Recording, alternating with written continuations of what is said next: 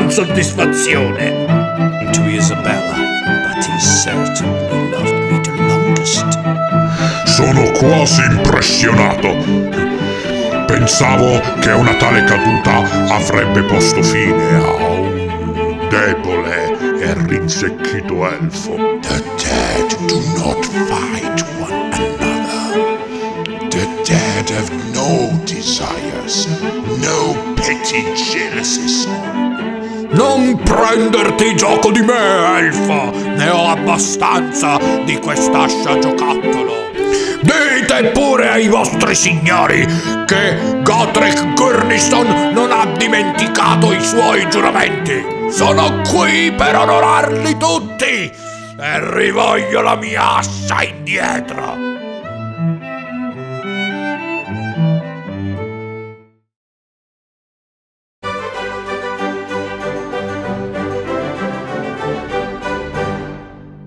Marinai e terraglioni, galattici amici, ma soprattutto galattiche amiche, benvenuti a questo nuovo episodio del Diario di bordo del Capitano, la rubrica che vi porta alla scoperta dei reami mortali.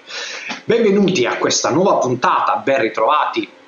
amici della Guida Galattica per Modellisti che ci seguite e quest'oggi vi voglio parlare delle dinastie dei Soulblight Gravelords, così come sono descritte nell'ultimo Battle Tom pubblicato, che è anche in realtà il primo Battle Tom così nominato Soulblight Gravelords. Eh, abbiamo 5 dinastie, 5 diciamo, stili di gioco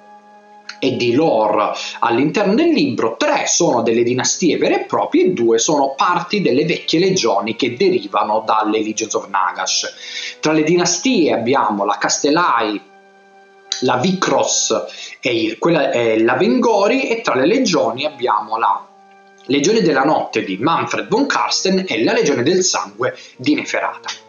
ma iniziamo questo excursus nella natura dei vampiri, dei reami mortali, partendo dalla prima delle dinastie, che è quella della Castellai. Perché vi parlo subito dei vampiri castellai? Perché i castellai sono i vampiri che hanno più rimandi al vecchio mondo, non sono altro che la versione dei reami mortali dei draghi sanguinari. Castellai non è una dinastia vera e propria nel senso che non si nasce Castellai, ma si viene trasformati in Castellai, ovviamente ricevendo il bacio eh, di sangue da un vampiro di questa dinastia, oppure un vampiro di un'altra dinastia può decidere di abbandonare la propria per seguire il credo uh, dei Castellai e quindi diventare a tutti gli effetti un membro di questa dinastia. Proprio così, perché come fu per i draghi sanguinari, anche i Castellai hanno un rigido codice d'onore che seguono strenuamente, ma che in realtà è un po' di facciata, perché quando vengono messi alle strette o quando non riescono a controllarsi, abbandonano l'onore per la ferocia e la sete di sangue tipica della, della natura vampirica. Il capo eh, non indiscusso e, sincer- e, sinceramente anche non tanto ben voluto di questa dinastia è il principe Vordrai. Il principe Vordrai era un vampiro, è un vampiro che tentò di sfidare Nagash perdendo e che Nagash maledisse eh, legandolo magicamente alla fortezza nota come Rocca Cremisi. Siccome Nagash vedeva comunque in Vordrai un essere estremamente forte che poteva tornare utile al proprio scopo, decise quindi di non ucciderlo ma di sostanzialmente tenerlo al guinzaglio. Vordrai non può abbandonare, non può allontanarsi troppo dalla Rocca Crevisi, tant'è che questa fortezza, che è anche la sede principale della dinastia Castellai, un po' come il castello di Dracula della serie Castlevania, può ehm, viaggiare nei reami immortali, apparire e scomparire eh, a piacere del principe Vordrai. Perché vi dicevo che Vordrai non è un uh, sovrano ben voluto, perché in realtà molti vampiri eh, che hanno ricevuto il bacio di sangue da Vordrai erano in realtà eroi eh, umani di eh, diverse regioni dei reami mortali che erano venute a Rocca Cremisi per sconfiggerlo. Eh, Perdendo lo scontro, Vordrai scelse tra i suoi sfidanti quelli più valorosi e decise di maledirli trasformandoli in vampiri. Quindi, nonostante lui sia il più potente, tra i più potenti comunque dei vampiri di questa dinastia, non è ben visto da molti vampiri che sono stati appunto creati dal suo bacio di sangue. È diventata comunque una sorta di ehm, quasi modo oh, di fare tipico del vampiro Castellai che se affronta un avversario non vampirico di eh, grande prodezza, di grande prodezza marziale e forza spirituale, un vampiro Castellai può anche decidere di non ucciderlo, ma addirittura di tentare di apprendere dal suo avversario sconfitto delle nuove nozioni di guerra per diventare un guerriero sempre più potente. I castellai, le armate dei castellai sono ovviamente quasi esclusivamente composte da cavalleria, tra cui spiccano le unità di Blood Knights, di Cavalieri del Sangue, e le unità di Cavalieri Neri Scheletrici. Disdegnano l'utilizzo della fanteria a meno che non sia strettamente necessario. E parlato appunto dei Castellai, che abbiamo detto che è una dinastia un po' più generica, andiamo alle due dinastie che io definisco delle chicche, la Vicros e la, la Vengori. La dinastia Vicros noi l'abbiamo vista con l'uscita della diciamo così, maledetto Warhammer Quest Cursed City, Warhammer Quest Città Maledetta, dove eh, gli avversari principali sono appunto Radukar il lupo e la di vampiri della dinastia Vikros. I vampiri della dinastia Vikros vengono praticamente dalle tundre e eh, dalle foreste gelide di eh, Shaish. Si dice che la prima uh, Vicros, tuttora in vita, la vampira nota come Bella Dama Volga, sia diventata vampira non tanto perché abbia ricevuto il bacio di sangue da un altro vampiro, ma perché abbia fatto un patto di sangue con una God Beast non morta nota come Hurnspul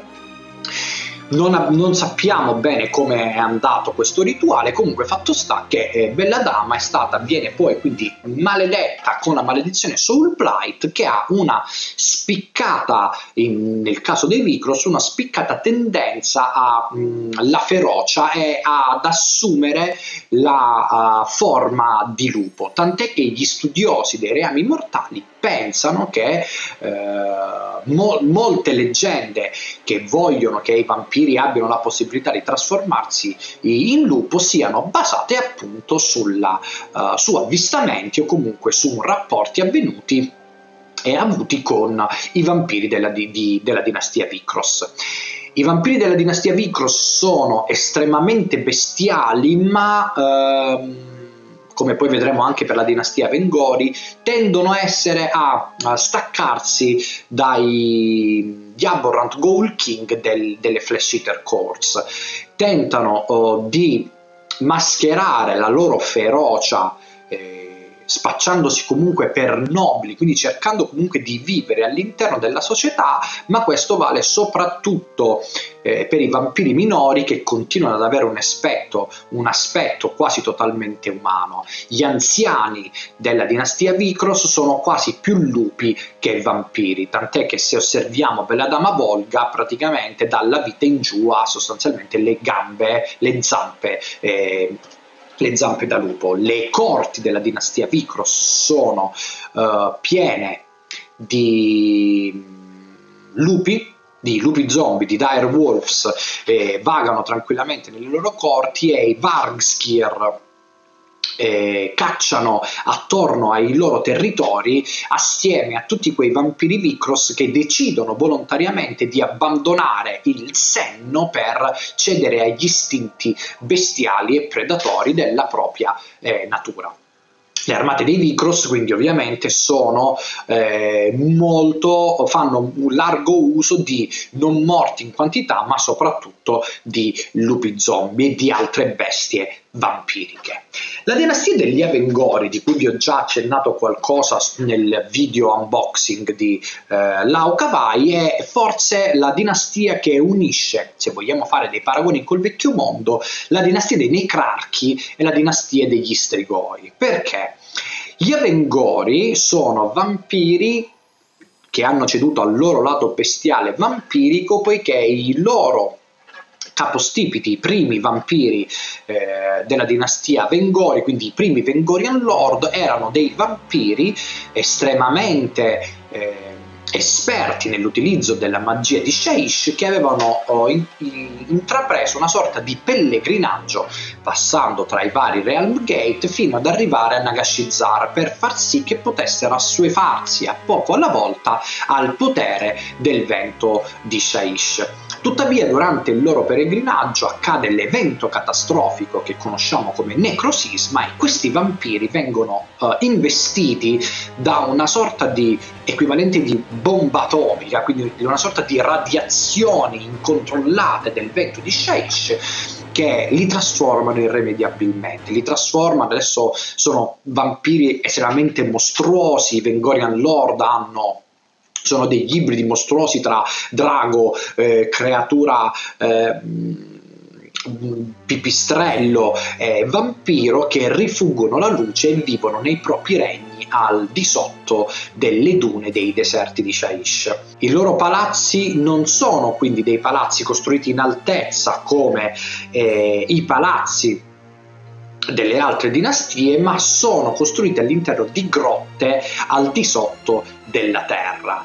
Differiscono dagli strigoi eh, perché nonostante ten- possano tendere alla pazzia e a una bestialità dovuta anche al fatto che il loro lato bestiale è irrimediabilmente già venuto fuori, a differenza dei Vicros che possono controllarlo, ri- ritengono comunque di avere certa, un certo controllo sulla eh, propria mente. Eh, molti vampiri della dinastia Vengori che non hanno ancora fatto uh, patto, sono scesi a patto con la loro mostruosità, addirittura refuggono gli specchi, perché dovete sapere che i Soul Blight si riflettono normalmente eh, con gli specchi nei, nei reami mortali il fatto che un vampiro non si riflette in uno specchio è semplicemente una nota di folklore che non è vera. E col passare del tempo le ultime generazioni di vampiri della dinastia Vengori hanno deciso quindi di abbracciare la loro mos- mostruosità eh, facendo anche dei, ri- eh, dei rituali eh, atti a eh, stuzzicarla e a farla eh, esplodere il prima possibile. Alcuni vampiri che non cedono alla trasformazione o la cui trasformazione in mostruosità tarda, cosa che eh, una cosa inaccettabile all'interno della società, Vengori si possono essere sottoposti a un rituale noto come Masranga. Il vampiro non trasformato in bestia viene incatenato e lasciato per tutto il tempo necessario al di sopra di una pozza di sangue ribollente, che è un po' una cosa che per quelli, per quelli di voi che hanno giocato a The Witcher 3, l'espansione Blood and Wine, diciamo che vi, vi, farà venire in mente qualcosa far, facendo sì eh, che il vampiro cede il prima possibile alla sua natura predatore vampirica e si trasformi quindi in un Varkaist. Un altro rituale che serve anche a creare dei nuovi Vengorian Lord è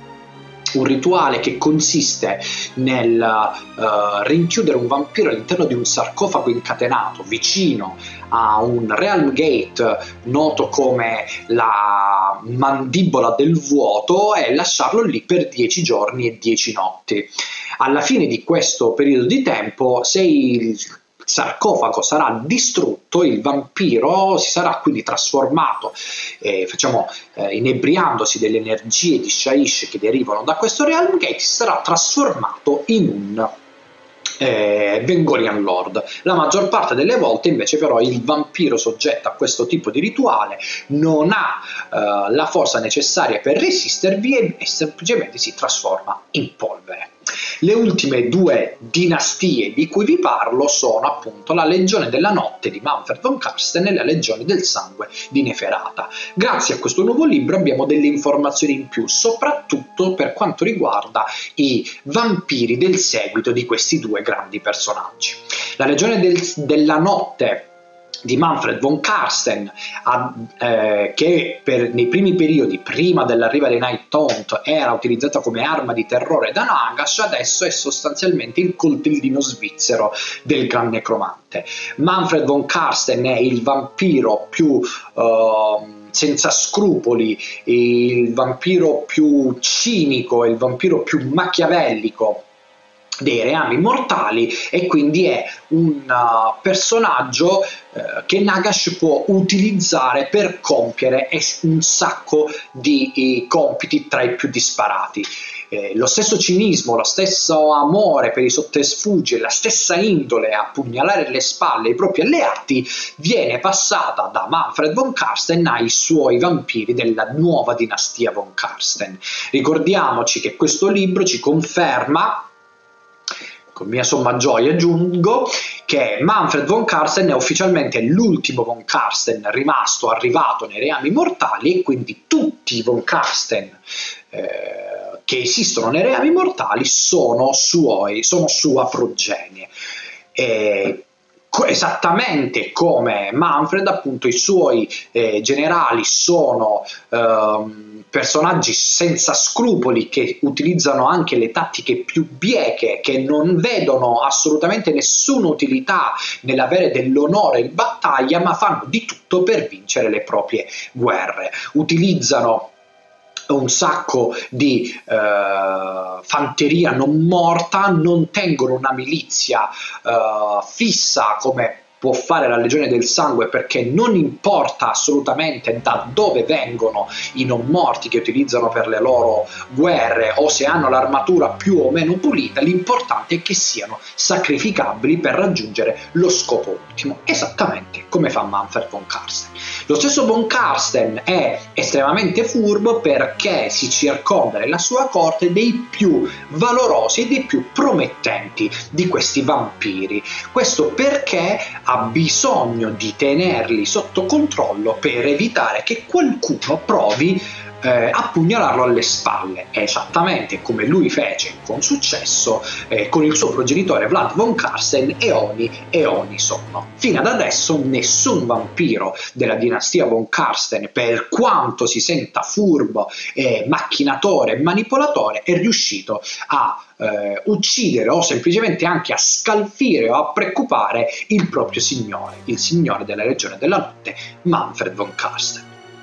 La legione del sangue invece è governata da Neferata. Piccolo appunto, il libro dei Soulblight Grave Lords ci sostanzialmente ci conferma che la maledizione Soul Blight non è nativa dei reami mortali, ma semplicemente è stata portata nei reami mortali da Manfred e Neferata. Quindi loro sono i uh, la, la, la, causa per cui ci sono i vampiri nei reami mortali. Come ben sapete, Neferata è colei che sostanzialmente creò la maledizione del vampirismo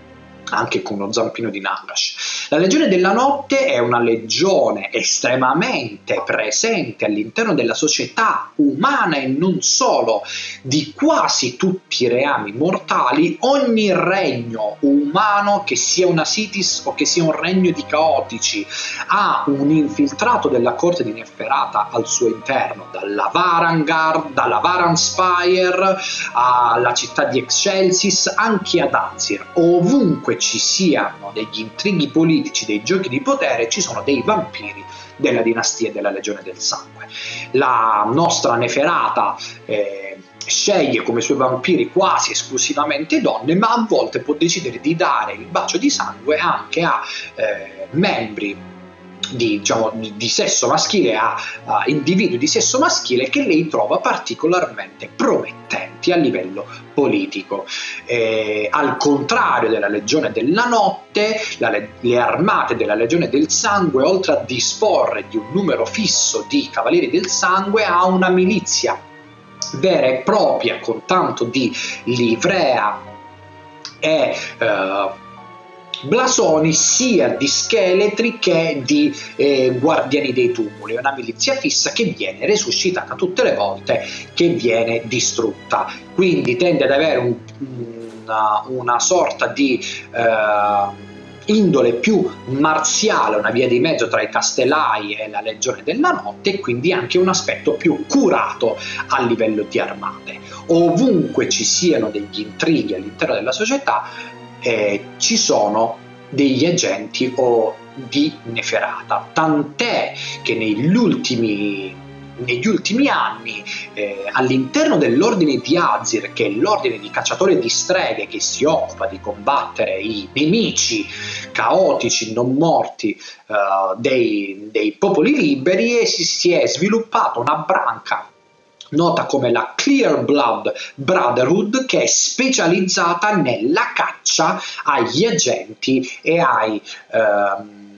politici corrotti al soldo della regina del sangue Neferata. Con questo arriviamo alla conclusione di questo video eh, riassuntivo eh, delle nuove dinastie eh, dei Soul Blight Gravelords. Consiglio a tutti di acquistare questo libro perché è, molto, è pieno zeppo di un sacco di informazioni nuove che ci aiutano a calare meglio, a calarci meglio all'interno di queste dinastie, di come si sono sviluppate le dinastie dei Soul Blight. Spero come sempre di avervi intrattenuto, che questo video sia stato per voi interessante. Se vi è piaciuto mettete un mi piace perché per noi vuol dire eh, tantissimo. Se non l'avete ancora fatto, cliccate sulla campanella per essere sempre aggiornati sui nostri nuovi video. E per adesso, dal vostro capitano Giacomo Uncino, è tutto e alla prossima!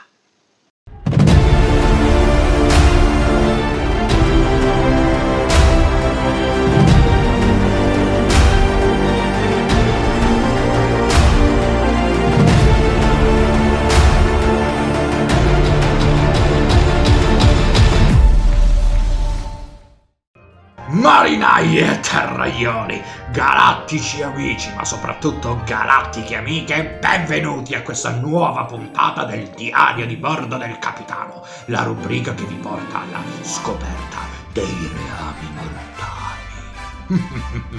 se avete bisogno di, se volete richieste, scriveteci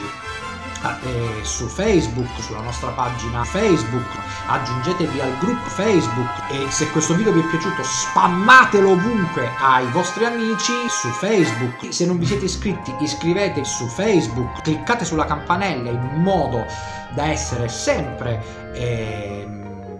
aggiornati su Facebook e per il resto un saluto anche questa volta dal vostro capitano Giacomo Pita Uncino. Grazie per essere stati con me e alla prossima.